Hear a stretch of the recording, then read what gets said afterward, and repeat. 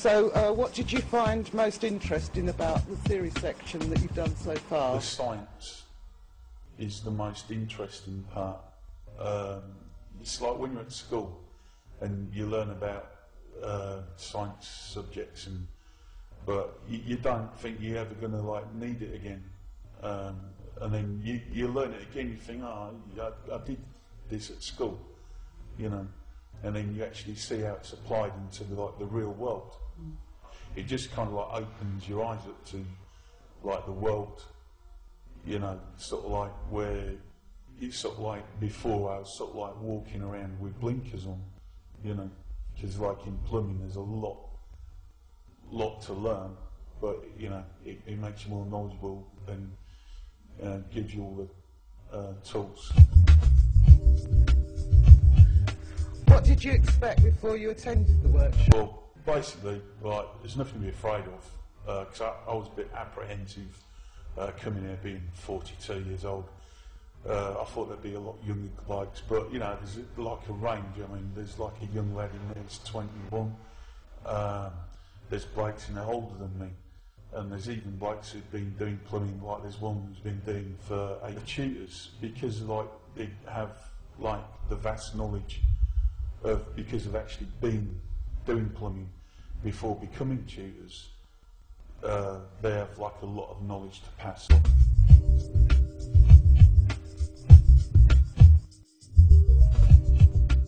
What have you found most interesting that you've done? Um, the most interesting what I've done is like actually having to uh, instead of reading about actually doing is uh, actually working out how to bend your pipes uh, so with your fittings, so when you put your clips in the board, um, that they all fit together and everything like goes bang on to how it should be because you can't just cut a bit of copper to a fitting because like a bit goes inside the fitting and you have to work out how long you have to cut your pipes. Uh, there's like uh, formulas for that which they show you and, and it all comes together when you sort of like actually do the job. You know, so you have like all the theory of reading about it, but the exciting bit is actually doing it.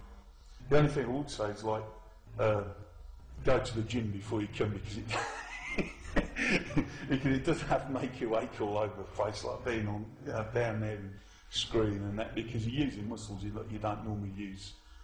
Uh, it's very enjoyable, very rewarding, as you can see.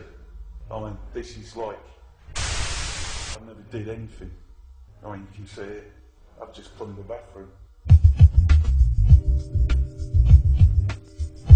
And when students come to you, particularly on week one, they're often nervous. How do you alleviate their nerves? Well, everyone's nervous, you know, the whole group that come in are start nervous because it's all new. Um, but the trainers are very down to earth and the assessors. Um, it's a very relaxed atmosphere when they come in, and we try and keep that atmosphere to get the best out of the student. Um, and from the minute they walk in, we make them welcome. Um, we explain everything that we're doing so they know what to expect during the week, um, and that just relaxes them from day one, really. So as it progresses through the week, they get more and more relaxed, and the work they do, they thoroughly enjoy. What do the students achieve during the two weeks that they're with you?